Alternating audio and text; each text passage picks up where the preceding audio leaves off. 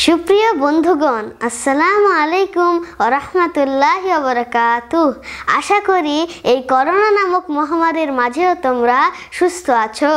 প্রথমেই আমরা মহান আল্লাহর শুক্রিয়া আদায় করছি, যিনি আমাদের সৃষ্টি করেছেন, আলহামদুলিল্লাহ। প্রথমে আমাদের প্রিয় নবী হজরত মোহাম্মদ সাল্লাহ আলহিসাল্লামের প্রতি দরুদ পাঠ করে বলছি সাল্লাহ আলহিসাল্লাম আজ আমি তোমাদের সাথে কিছু জরুরি দোয়া নিয়ে কথা বলব। আশা করছি তোমরা তা মন দিয়ে শুনবে এবং এখন থেকেই প্র্যাকটিস করবে। আমরা একটু ভেবে দেখি তো, আমাদের যখন খুব আইসক্রিম চকলেট খেতে ইচ্ছে করে, তখন আমরা কার কাছে আবদার করি? নিশ্চয় আমাদের আব্বু, আম্মু অথবা তাদের মতোই কোনো আপনজনের কাছেই যারা আমাদের খুব ভালোবাসেন। আবার আমরা যখন কোনো বিপদে পড়ি কিংবা ভয় পাই, তখন কাদের কাছে ছুটে যাই? নিশ্চয় সেটাও আমাদের প্রিয় মানুষদের কাছেই। কিন্তু একটা কথা কি আমরা চিন্তা করে দেখেছি?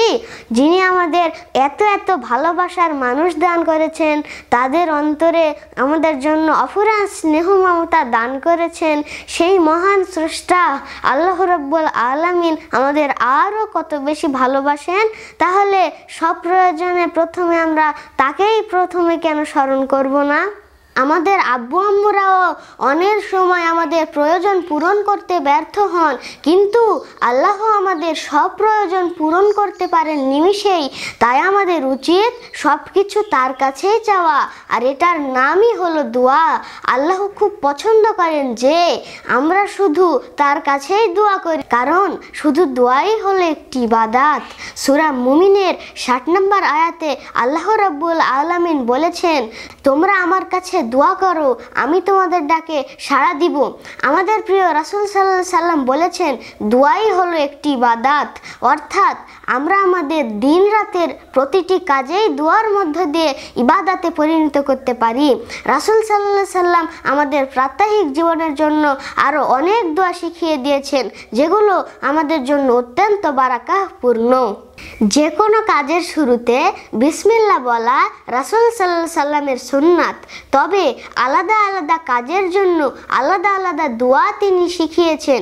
এসব দোয়া আমাদের আল্লাহ রব্বুল আলমিনের নিকটবর্তী করে দেয় আর আমাদের অন্তরে সৃষ্টি করে তাকুয়া অর্থাৎ আল্লাহর ভয়।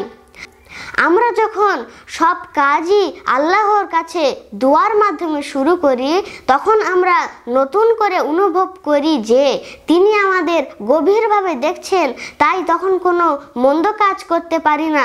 যখন আমরা পড়তে বসি, তখন আমাদের বলা উচিত, রব্বি জিদিনে আইলমা অর্থ, হে আমার প্রভু, আমার জ্ঞান বাড়িয়ে দিন। সুরা আত্মহার একশো চোদ্দ নম্বর আয়াতে স্বয়ং আল্লাহ রাসুল সাল্লাহ সাল্লামকে এই দুয়াই পাঠ করতে বলেছেন। এর মাধ্যমে তিনি আমাদের জ্ঞান বৃদ্ধি করে আমাদের পাঠকে সহজ করে দিবেন। ইনশা আল্লাহ।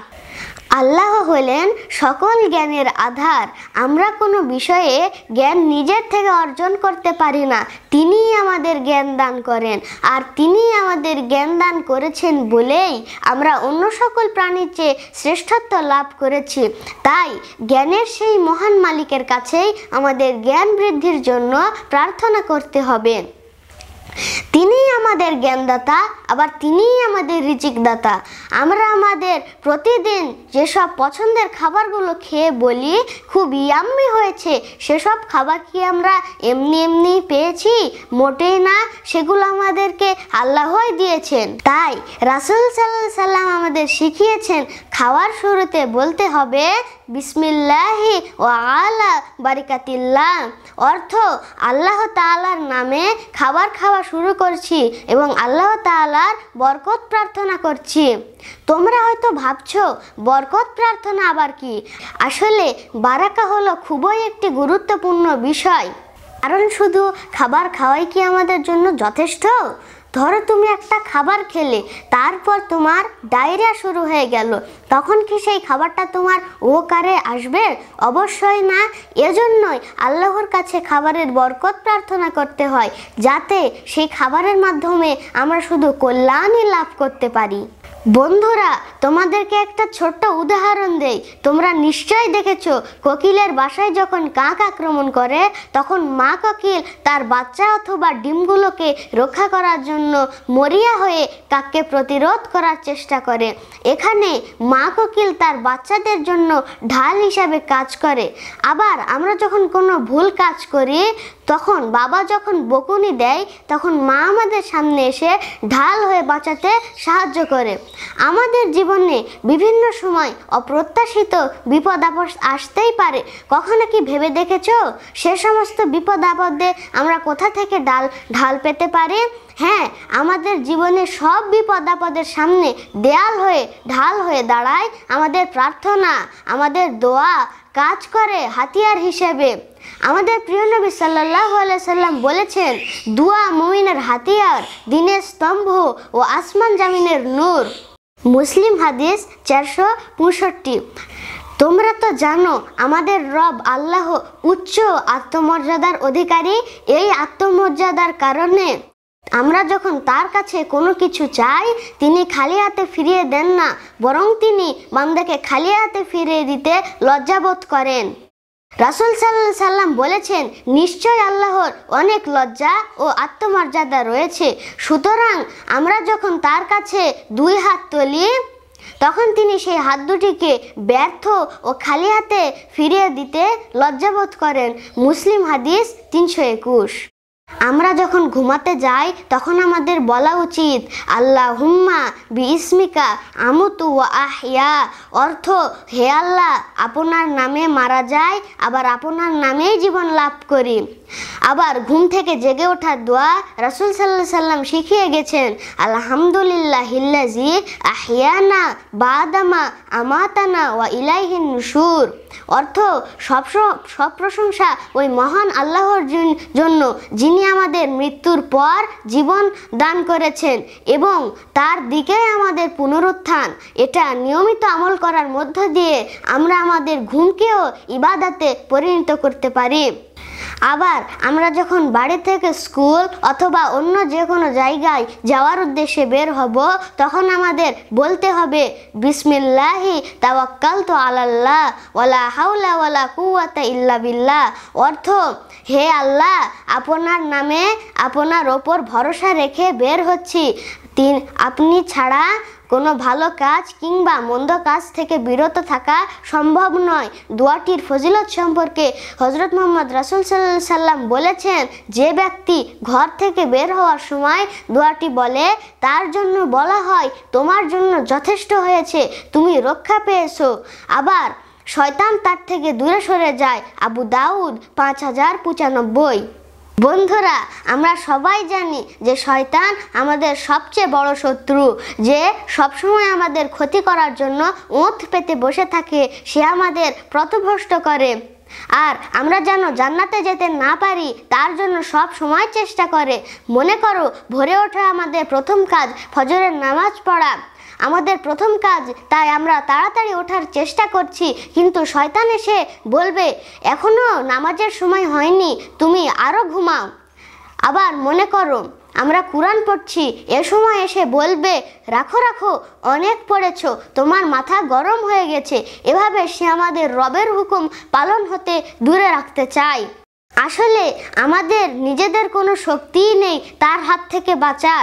সেজন্য তার হাত থেকে বাঁচতে আমাদের আল্লাহকেই স্মরণ করতে হবে, কারণ তিনিই আমাদের শিখিয়ে দিয়েছেন, যদি শয়তানের প্ররোচনা তোমাকে প্ররোচিত করে, তাহলে সঙ্গে সঙ্গে আল্লাহর নিকট আশ্রয় প্রার্থনা করো। নিশ্চয় তিনি শ্রবণকারী, মহাজ্ঞানী। সুরা আরাফ, আয়াত নাম্বার দুইশো সুতরাং, শয়তানের প্ররোচনা থেকে আত্মরক্ষার জন্য আমাদেরকে বলতে হবে। আউজুবিল্লা হিমিনা শৈতানি রজিম। সুতরাং শয়তানের মন যেমন নোংরা, তেমনি নোংরা জায়গায় সে থাকতে বেশি পছন্দ করে। আমরা যখন বাথরুমে যাই, তখন আমাদের বলা উচিত আল্লাহ হুম্মা ইন্নি আউজুবিকা মিনাল খুবসি ওয়াল খাবাইস। অর্থ, হে আল্লাহ, আপনার নিকট পুরুষ ও স্ত্রী শয়তানের অনিষ্ট হতে আশ্রয় প্রার্থনা করছি। আবার টয়লেট থেকে বের হওয়ার সময় বলবে, গুফরানাকা। অর্থ, হে আল্লাহ, আপনার নিকট ক্ষমা চাই। আবু দাউদ তিরিশ।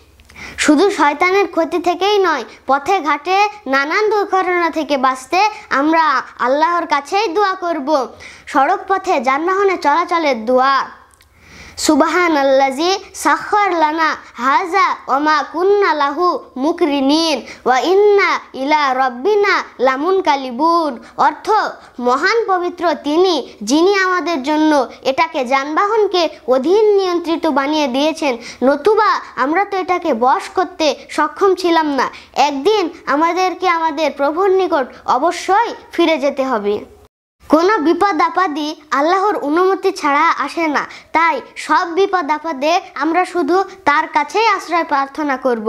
আমরা এক সময় বড়দের মুখে যেসব রোগ মহামারীর গল্প শুনে শিউরে উঠেছি, আজ করোনার আগমনে আমরা সেটা নিজেদের চোখেই দেখতে পাচ্ছি তাই এই মহামারী থেকে বাঁচতে আমরা আল্লাহর কাছে কাতর কণ্ঠে বলব আল্লাহুম্মা ইন্নি আউযু বিকা মিনাল বারাসি ওয়াল জুনুনি ওয়াল জুজামি ওয়া মিন সাইয়িল আবু দাউদ, তিরমিজি, অর্থ, হে আল্লাহ, আপনার নিকট শ্বেত রোগ থেকে আশ্রয় চাই, মাতাল হওয়া থেকে আশ্রয় চাই কুষ্ঠরোগে আক্রান্ত হওয়া থেকে আপনার নিকট আশ্রয় প্রার্থনা করছি।